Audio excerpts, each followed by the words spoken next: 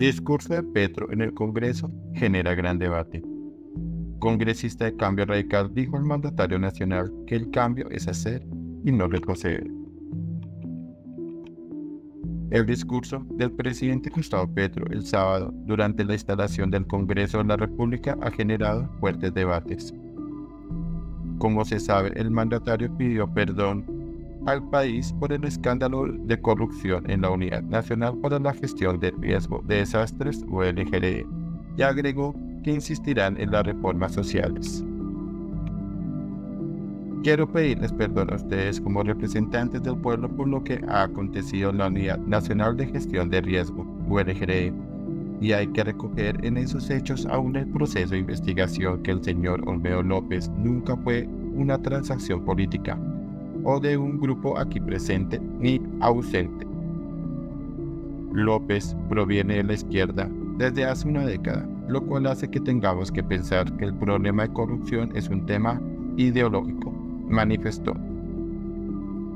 Además, aseguró que no hay una barrera ideológica que divida a las gentes de la política, pues la ciudadanía misma escoge entre fuerzas que no son corruptas y otras que sí lo son. La corrupción en Colombia en realidad es una cultura que atraviesa todos los estamentos entre los más ricos, pero también entre los más pobres. Al respecto, el representante del Pacto Histórico David Racero aseguró que el del presidente fue un gran discurso, asegurando que, en realidad, pocos líderes son capaces de pedir disculpas ante el Congreso, sobre todo si están al frente de sus contradictores más acérrimos. El sábado escuché un gran discurso del presidente Gustavo Petro. Pocos líderes políticos son capaces de pedir perdón ante el Congreso, con presencia de sus contradictores más acérrimos enfatizar los grandes logros como la reducción de la pobreza monetaria y la desigualdad. Para mí, la principal bandera de nuestra y la razón por la cual hacemos política, digo.